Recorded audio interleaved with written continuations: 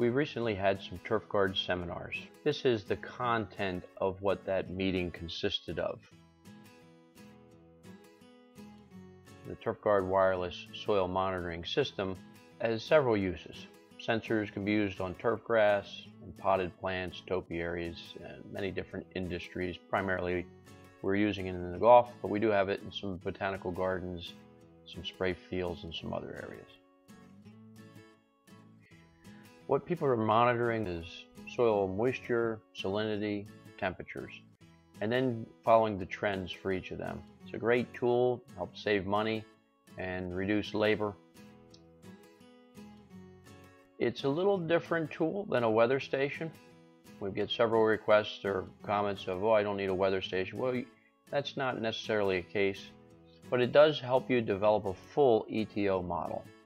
An ETO model is going to consist of solar radiation and duration, temperature, wind, stomatal resistance, water availability, and soil characteristics. Where a weather station cannot help you is stomatal resistance, water availability, and soil characteristics. So for those two unique aspects, this turf guard fills a really nice niche. The ways you can view the information, there's three different ways. One is Sight Vision, which can be a standalone piece of software. Doesn't have to be, but uh, in areas where there is no internet, we can use Sight Vision as a standalone uh, database. Golf Vision, which is the first piece of software that they came out to use with Turf Guard, so it's about four years old now, um, and that is only over the internet. So you have to have internet, but wherever you have internet access, you have access to your sensors. The third way is through the Lynx control system. This is the integrated approach where it can tie into your sprinkler heads, your controllers, and the operation of your system. Turf Guard is very simple to use. When we set it up, the map is in there. We just find your course or your piece of property. We can locate the sensors to give you a visual picture of where they are. After they're in, you can just mouse click over the sensor. It'll bring up the readings. Click on the sensor and it'll take you right to the graphs and uh, the tracking information.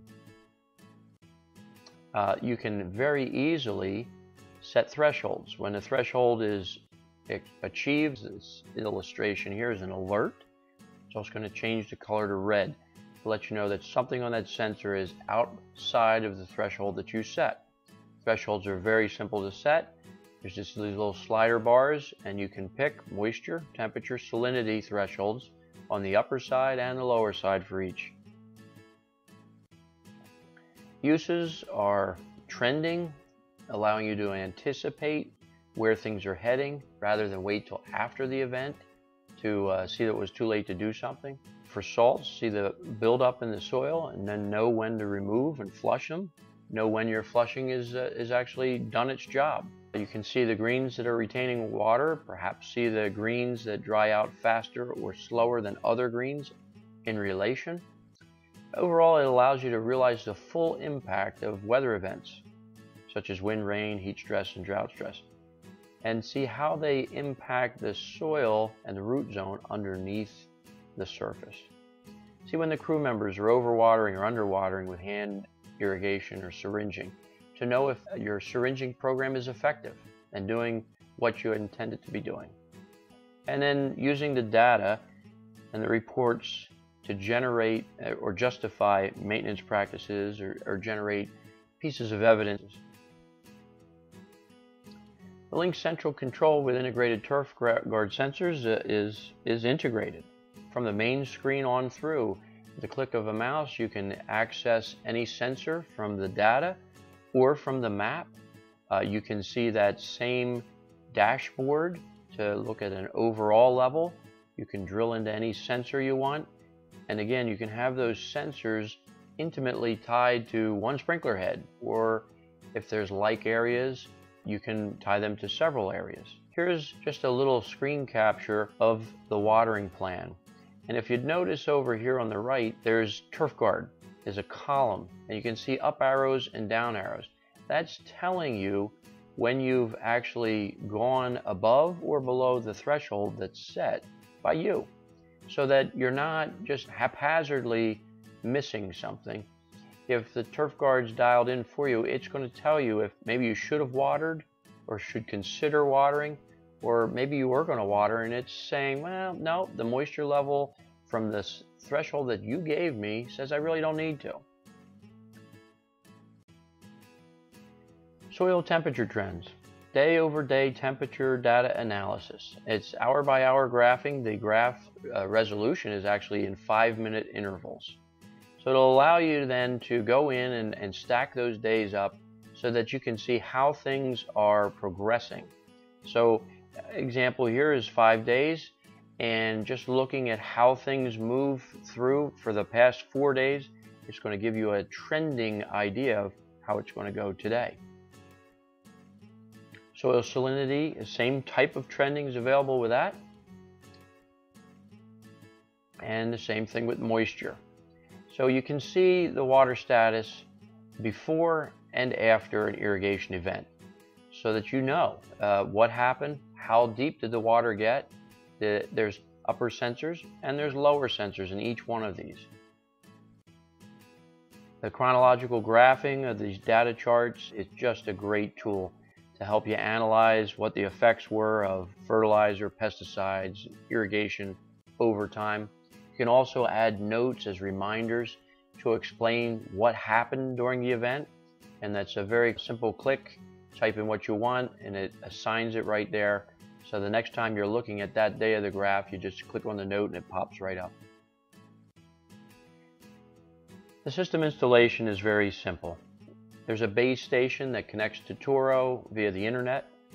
It doesn't need to be in the maintenance office. It could be in the clubhouse. It could be in a IT closet. If we're using the standalone software, then it needs to be near the computer that's going to house that standalone software. The base station then talks to repeaters. Repeaters can be either internal or external repeaters, meaning internal is inside of something, external is a weatherproof box like you see in the picture here. They have a range between 2,000 feet to up to 2 miles if there's clear line of sight between the repeaters and the central. They take a very low power requirement. And then the repeaters talk to the sensors, the sensors that are actually making the measurements and the readings. That's a 500 foot maximum from the sensors to the repeater. That is all wireless. Speaking about those repeaters, the top picture illustrates an internal repeater that Toro can utilize in the Network VP, the eOSMAC, also in the LTC Plus control platforms. The external repeater, shown in the lower picture on a competitor's controller box, can be mounted outside and anywhere that we can get 120 volt power. Here's an example of a residential commercial controller on a clubhouse hooked up with an external repeater. And the little arrow is pointing to the um, Turf Guard power supply that can be used to very easily hook into any 110 volt supply and give us the power that we need. If there isn't anything to hook to, the repeaters can be hooked up a, to a small solar charger, battery, and circuit. Uh, here's an example of one where uh, club members made a nice little box to house the battery and the repeater and the 10 watt solar panels just mounted right on the wood. The sensors themselves are very easy to install and very simple to operate. There's an up arrow indicating that that's the direction that it should be mounted in when it's installed. There's a sensor ID on it. That ID is what we'll use back in the software to know which sensor we're actually talking to and then we'll go and we'll name it something a little more user friendly.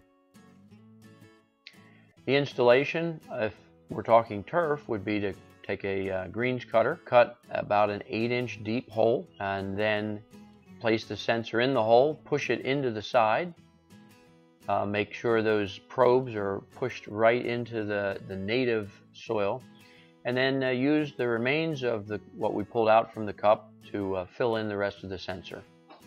One thing that you would want to do is the back of the sensor, the flat part of the sensor, should be aimed toward the repeater because as the illustration here shows, you see a red arrow pointing, that's the actual antenna inside that sensor. It's going to have the best reception if its flat face is pointing towards the repeater. Then, once it's all installed, you'll get readings in about 24 hours.